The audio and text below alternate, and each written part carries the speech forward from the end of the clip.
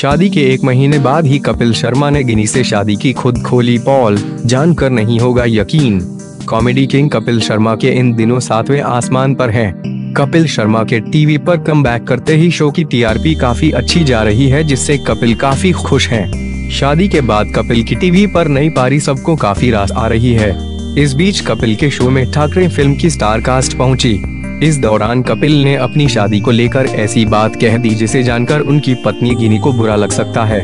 दरअसल, फ़िल्म ठाकरे की star cast Nawazuddin Siddiqui और अमृता राव प्रमोशन के लिए शो में पहुँचे थे। शो के दौरान कपिल ने मजाकिया अंदाज में अपनी शादी को लेकर ऐसी बात कह दी जिसे जानकर आप हैरान रह जाएँगे। शो के दौरान कपिल ने शो में मौजूद दर्शकों से बार बार अपनी शादी का ज़िक्र करते रहते हैं। बातचीत दौरान कपिल ने अपनी शादी की प्यार स्टंट तक कह डाला। कपिल शर्मा के मेहमान इस बार नवाजुद्दीन और अमृता राव बने थे। हमेशा की तरह इस बार भी शो में पहुँची हीरोइन अमृता राव से फ्लर्ट करते दिखे।